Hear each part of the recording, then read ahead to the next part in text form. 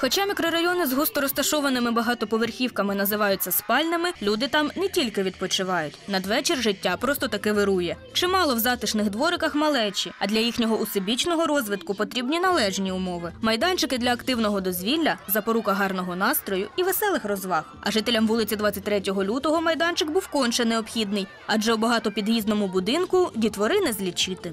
Нужна была детская площадка. Тут только шприцы от наркоманов были. А так детская площадка, детишкам можно поиграть в свободное время от садика и от школы. Так что большое спасибо. Побольше бы их в каждом районе, и в каждом микрорайончике, и в каждом доме. А площадка, конечно, нужна. Деткам есть где играть, и это очень хорошее дело. У меня есть младшая сестра, я буду с ней каждый день ходить, потому что вот садик рядом. У меня четыре двоюродных сестры, одна родная, мы будем с ними всегда ходить, потому что раньше площадка была очень далеко, и туда нужно было очень долго ходить. Я вот живу рядом. Тут э, очень много друзей моих и живет в этом районе.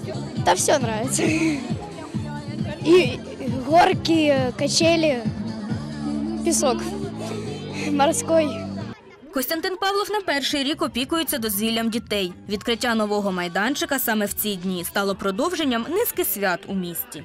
такое замечательное празднество не могло обойтись без наших друзей, которые нам действительно э, помогают установить каждую детскую площадку во всех районах нашего города. Это уже фактически 22-я площадка на территории Терновского района и уже 139-я на территории всего города.